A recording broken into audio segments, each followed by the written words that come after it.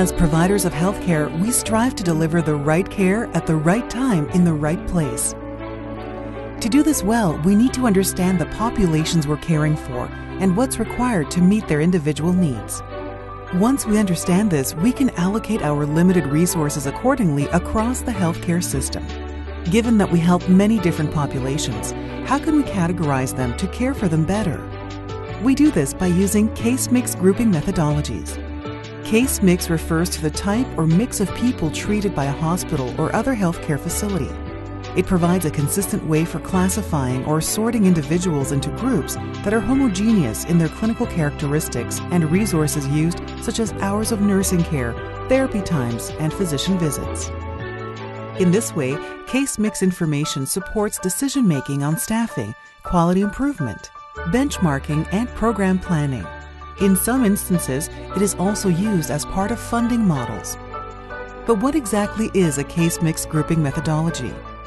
By sorting information about each person into similar categories based on their clinical information and resources consumed, we end up with a more manageable amount of information.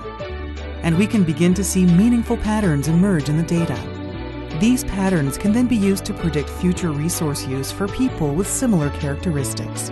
In other words, Case Mix helps us achieve a balance between the large amount of information about these people and a way to categorize this data into a reasonable number of groups that share characteristics.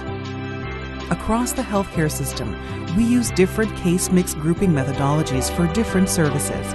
For example, in acute care, case mix is based on diagnostic and treatment interventions and is referred to in Canada as case mix groups or CMGs and internationally as diagnosis related groups or DRGs.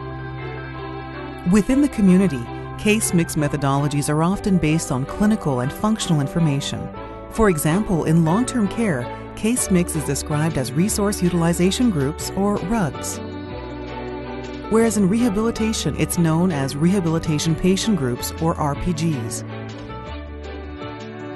At the population level, the population grouping methodology examines diagnosis and patterns of health system use data with an emphasis on chronic conditions to form this case mix method. Still, case mix is not always simple to understand, so we're going to use these blocks to illustrate some case mix concepts. At first glance, you might think these blocks are all different. But as you can see, we can group them by similar characteristics such as color. We can also see that within a group of the same color, the shapes are different. The same can be said about people. They can be grouped by their similar clinical characteristics and by their individual care needs. For example, in the resource utilization group case mix methodology used in long term care, there are seven clinical categories. A person in a long term care home who suffered a stroke might be assigned into a different category than someone who has a less severe condition and needs less help with daily activities. The question remaining is how many resources are needed to meet their needs?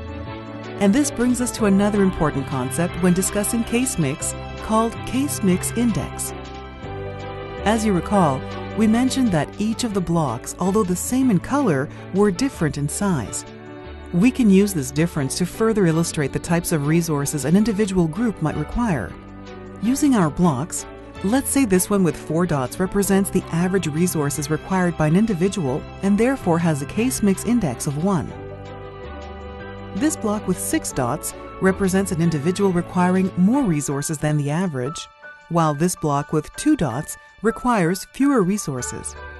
Therefore, we can say that these two blocks have different resource weights even though they are categorized into the same clinical category of the resource utilization group.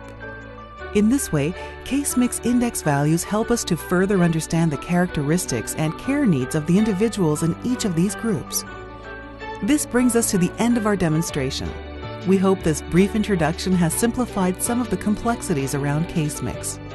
By sorting information about each person into similar categories, we can understand the populations we're caring for and better understand the requirements to meet their individual needs.